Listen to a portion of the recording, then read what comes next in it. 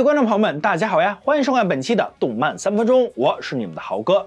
老规矩啊，是咱们的猜图环节，大家可以猜猜视频中阴影出的角色他是谁？答案就在本期的视频末尾处揭晓答案哟。今天豪哥啊，给大家做了一个宝可梦神奇宝贝的大盘点，那就是啊，有哪些宝可梦体型最小，身高只有零点一米？但是它的体重却有高达九九九点九九九九九千克呢。现在跟着豪哥一块来看一看吧。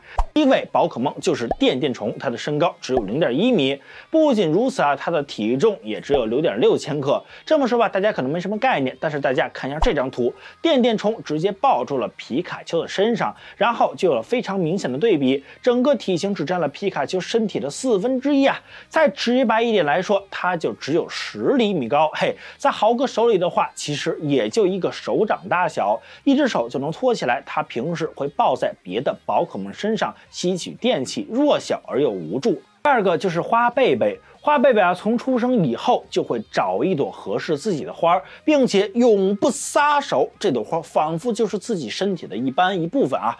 如果花丢了，那么花贝贝的生命也就差不多到了尽头。大家知道了，它是最小的宝可梦。那么还有一件大事，大家一定就不知道了。它跟鬼斯和鬼斯通这两个密度接近于空气的宝可梦一样，都是最轻的宝可梦，也只有零点一千克，都不用人举起来，只要。风那么轻轻一吹，呼，就直接能飘向了远方。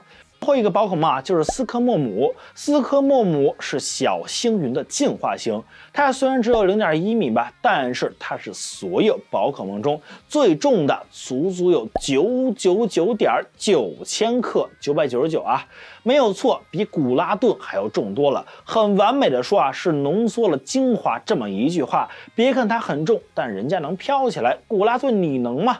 但是最厉害的人还要数咱们的主角智爷，能直接啊把这个科斯莫姆抱起来，单手举起一吨重的宝可梦，你可比怪力的力气还要大哟。好了，现在豪哥公布本期的猜图答案了，小伙伴们你们都猜对了吗？好了，喜欢看豪哥讲解动漫视频吗？一定要搜索关注豪哥的优酷号“动漫三分钟”，咱们下期再见哦。